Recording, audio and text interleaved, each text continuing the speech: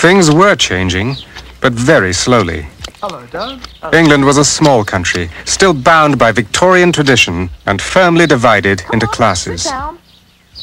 A conservative atmosphere prevailed in which children expected to do what their parents had done and to be the sort of people they were. So when Skiffle died and Bill Haley went home, most kids resigned themselves to the kind of inoffensive pop music their parents had liked.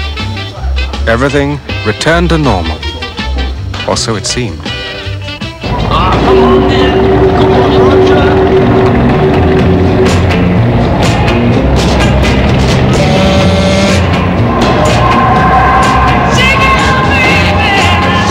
The 200-mile distance from London to Liverpool might have been 2,000 as far as Liverpudlians were concerned. Once England's busiest shipping port, Liverpool had become, by 1960, a provincial outpost, economically depressed and quite devoid of any glamour or expectation. Yet while the rest of Britain returned to the safe sounds of Cliff Richard and Helen Shapiro, teenagers in Liverpool kept listening to American rock and roll.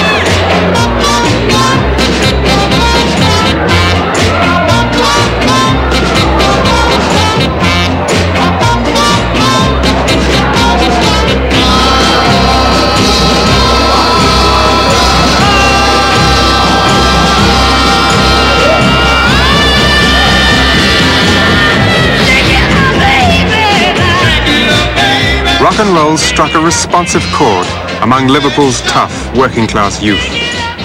A seed had been planted, one which would soon bear unexpected fruit.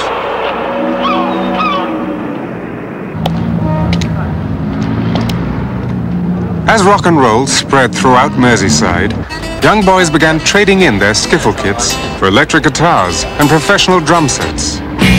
They formed groups with names like Rory Storm and the Hurricanes, the Rocking Rhythm Coasters, and King Size Taylor and the Dominoes, and began to play this American music wherever they could.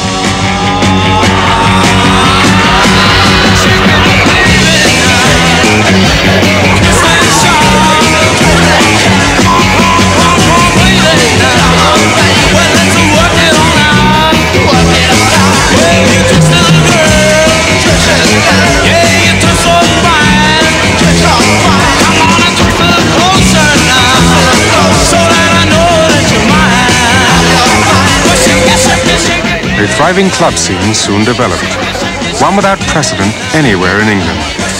By mid-1961, when somebody finally bothered to count, there were 273 groups in Liverpool and more than 300 clubs. But of all these groups, few dreamt of fame beyond Liverpool, and even fewer of making a living playing this music. At least, not until one group caught the eye of a local record store owner.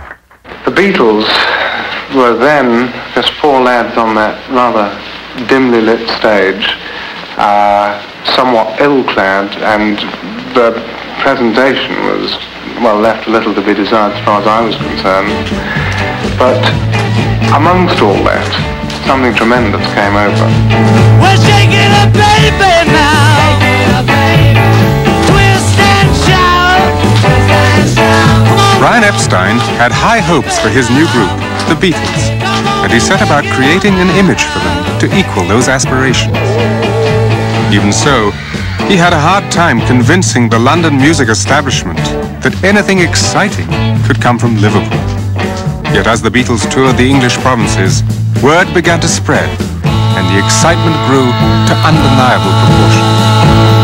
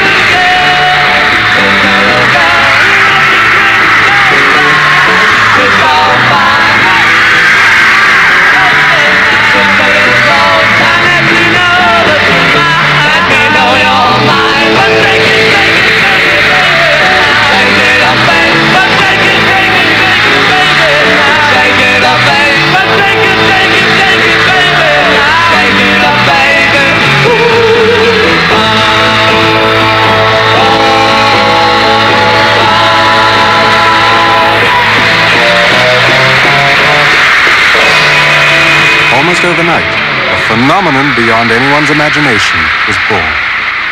The Beatles looked and sounded unlike anything that had come before. At last, British kids had a music all their own.